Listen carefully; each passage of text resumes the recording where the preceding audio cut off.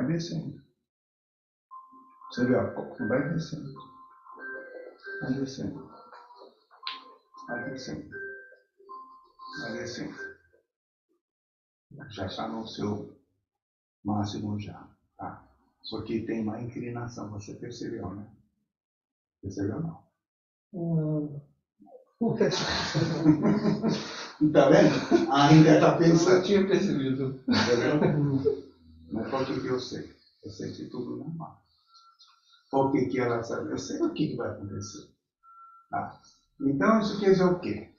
Vocês estavam abraçados e o primeiro contato de energia.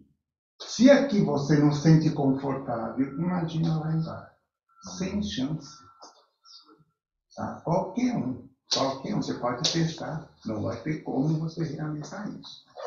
Então, quando você faz isso aqui, você percebeu? Você tem isso aqui. Tá? Então, você tem que neutralizar uh, com treino. Devagarinho, deixar isso acontecer.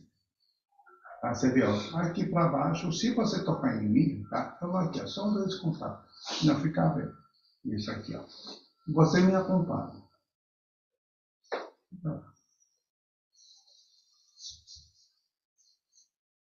Em qualquer momento. Eu subo aqui, você não vê a oscilação.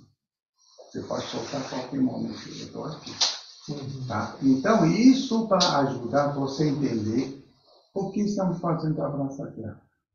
Porque inicialmente qualquer um pode vir aqui, vou te mostrar, você vai ter certamente essa defasagem.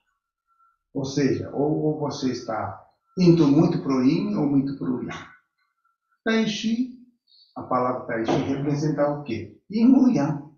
A união de um e yang, o símbolo Tai Chi. Ou seja, se você não está coeso, não está funcionando bem, ele vai ter essa inclinação, oscilação. É que eu estou tentando mostrar para você.